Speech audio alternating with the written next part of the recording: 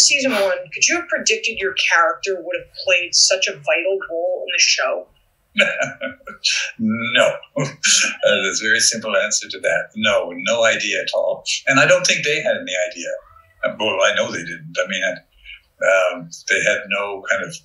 They never had a Bible for the show, so it kind of always did it by the seat of their pants. So, uh, no, I had no idea. In the, in the second season, uh, there was the episode called One Breath, and that was the first time there was kind of a major uh, scene between Mulder and me, and they showed me in my apartment and whatever. And that's when I said, I have watched presidents die and all of those things. And, uh, uh, and that, that was the, you know, that was the biggest scene I'd had up until that time. And, and I know, uh, from talking to Bob Goodwin, and who's become a friend subsequently, that they were they, they didn't know what they were getting into because the writers had written this, but they had never bothered to investigate whether I was a good actor or not. They had just hired me because of the way I looked, I think.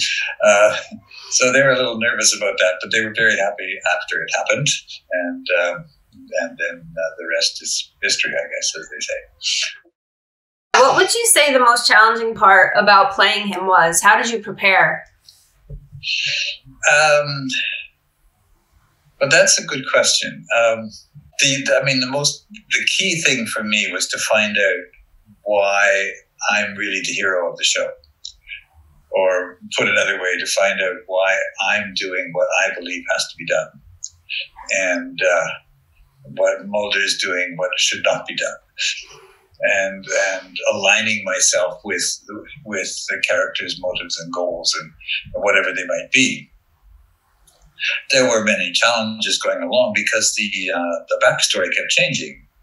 Um, because as I say, there was no Bible, so there was you know early on I thought I was the top dog.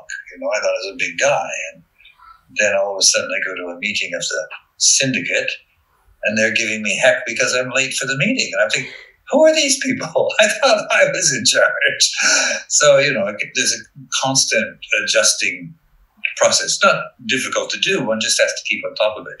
So one of the, uh, one of the really fun things about doing the, the whole thing was getting the script and working out why and how does it work and how does it fit what what's what's making me do what I'm doing and what am I doing and um, it was always a challenge and, and fun to do.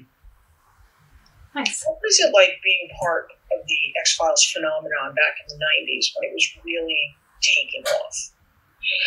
That was so weird. That was so amazing. I mean, one never imagined that uh, A, one was going to do a lead in a big TV series, and B, that the TV series itself would be, as you say, such a phenomenon. Um, and uh, so it was bewildering in many ways. I mean, I I know the first time I kind of went into a uh, electronics store, I was going to buy something I can't remember, and uh, the uh, service guy said, you know, could, could I have a picture with you? Okay, sure. And he stood beside me, and he was shaking. He was so nervous being that close to someone in this show. I mean, it, so you know, I thought, oh, that's interesting. You know, then there were all sorts of other things that happened, like uh, like Richard Dawkins condemning this the series, and Richard Dawkins being my favorite uh, author and scientist and skeptic, and, and how do I deal with that? And, so it was pretty interesting. But I have certainly a um, a, a, a feeling, I mean, a, a, real bonding of, of, of those of us involved in the show. And some of that's continued as we've gone on to do fan conventions since, so that, uh, you know, that relationship continues. Um, and, and, there was a kind of a subgroup for a while, uh, which was the Canadian actors within the series. And we kind of bonded in our own kind of way because because we were the Canadians. and uh, I mean, they were wonderful people to work with. I mean, Kim Manners and uh, Rob Bowman and I we were all water skiers on top of everything else. So we shared a lot of water ski experiences. And Rob recommended to me a, a water ski lake I could ski in near Los Angeles. And so there were lots of lots of things like that, I guess. But can you tell us a little bit about the transition from acting in the X Files to writing such an important episode? How did you feel it came out? Uh, that was quite an experience. That was a really interesting experience because I, I really didn't know how they worked on their scripts when I jumped in and said, you know, I'd like to do a like to try writing an episode, and they said, great. And partly what I wanted to do was write one that I would work with Gillian because in seven years I'd never had a scene with her. I hadn't really done anything except the uh, the, the pilot where I gave her funny looks, but we hadn't actually worked. so that was kind of the premise of trying to do an episode. So we talked about some stuff, and then I went off and wrote an episode, and, uh, which had things that I loved in it because Chris Carter was always talking about somehow he's got to get the smoking man to water ski because he knew I was a water skier. I had put that in the episode. And I had taught Scully to water ski and oh, kinds of interesting things. And yeah, well, no, no, no, no, Bill, that's not how we do it. we, don't just go write an episode. We sit down as a committee, as a the writing committee, and we block it out. Um, so then we did that and worked through the structure of the episode. And then I went back and wrote another draft. Uh, and then Chris Carter rewrote it. And that's how it ended up. So, how did it come out? In, in some ways, good, but um, there was a fundamental weakness, I thought, which was why why Smoking Man throws the uh, magic tape into the lake, why he gets rid of it. Um, and both Rob Bowman and I thought this is not clear enough, you know, and we kind of appealed to Chris, but Chris said, no, no, it's clear in the script. And, you know, there's kind of reference in the script, but not really enough. Um, I still subscribe to J.B. Priestley, the famous British playwright, saying, if you want the audience to know something, you have to say it three times. Um, as a kind of general rule of thumb. Uh, so I don't think it was clear enough what the what the arc was for the character you know, that he really decided, no, no, this is too much. We cannot go there. Be like Trump backing off, saying, no, we won't do it. um, uh, it's too much. But um, but in, in many ways, I, I, I liked it. In many ways, a lot of good things in it, and I love with Rob on it. But, Can you tell us about returning to the set for the reboots? Your character seems invincible. You've died like 18 times. How, you know, what was it like returning 14 years later um, to the, to the series all over again? Well, for one thing, it's really interesting when you say 14 years later because I don't think to any of us it felt like that. It felt like kind of um, just well, a day or two ago. you know, it didn't feel like a long time had passed. Um, in that sense. We just sort of picked up quite readily kind of where we left off in one sense. I had something to cope with because I had been hit by a cruise missile. And so you don't just get up from being hit by a cruise missile.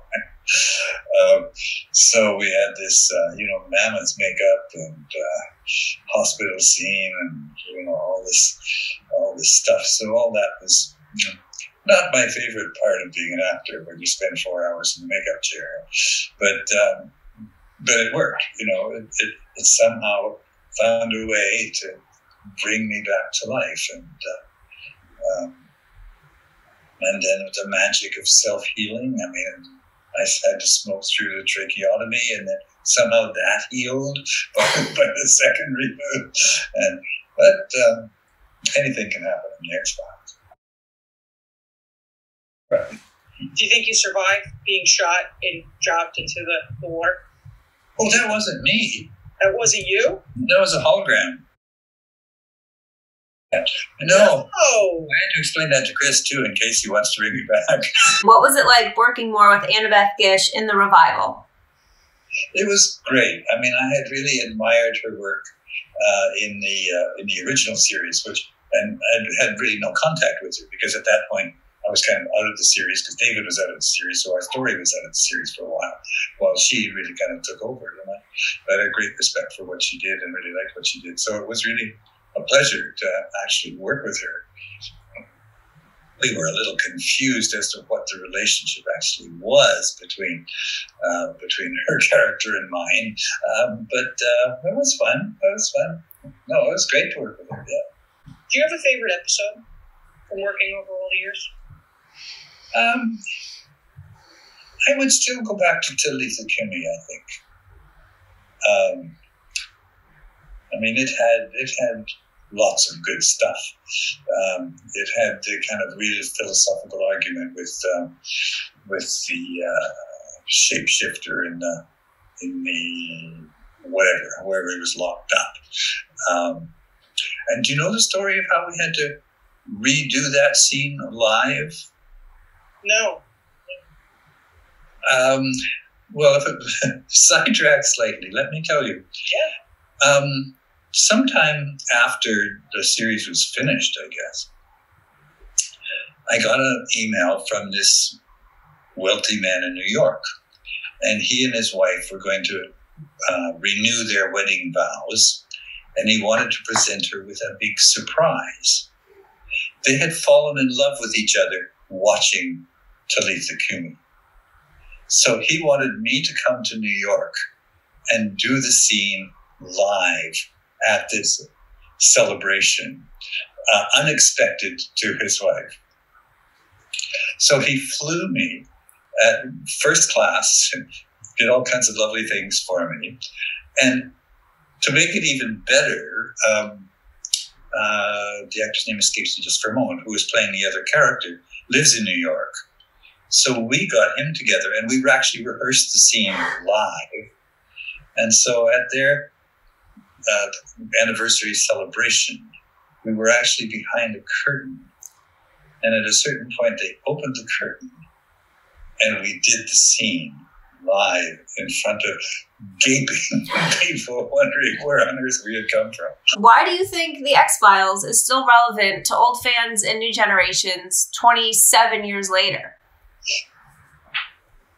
Um, not quite for the same reasons, I think, as it was originally.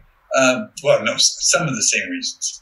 But what I think was remarkable in the 90s was that we were in a period of really uh, questioning what's real and what's not real as we moved from print, which is a really kind of hard, fixed medium, onto the internet and um, started seeing things through a screen and not a very clear screen.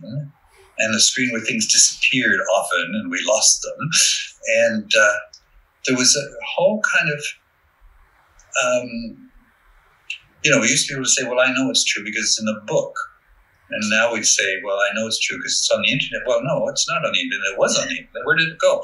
Um, so there was this kind of fluidity. So then the X Files was a story, or much of its original manifestation, about taking things that people believed to be true but probably weren't, but said, let's suppose they were true.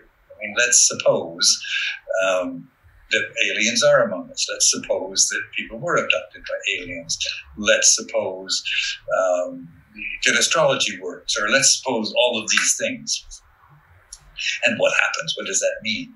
And so all of that was, I think, a particular to the zeitgeist of the 90s. What was also part of that time, but is continuing to be part of that time, is the whole business of conspiracies and the whole belief in conspiracies, or there may be conspiracies, imagining there may be conspiracies, or enjoying the, the, the, the fantasy of, of, of uh, conspiracies. And I think that's a lot of what, what, what appeals in the story now. Nice. I have the last question, but I'm going to sneak one more in there that I just thought of. what was your favorite part about playing CSM? It's so fun to play the bad guy. I mean, all actors say that. I don't know. I don't know what it is in us that, that we want to be the bad guy, but somehow it's more interesting. It's more stimulating. It's more challenging than just being a nice person. Um, and and you and, and you get to have power. You know, I mean, um, You know, I started smoking when I was 12. I had long since given up by the time we did the show. But I started smoking at 12 because it made me feel big and important at age 12. Um, so going back to CSM, it still made me feel big and important. um, so, you know, all of those things. Yeah. Um, if you could say something to the fans of the last, over the last 25 years or of the last 25 plus years, what would it be? Don't believe everything you see on TV.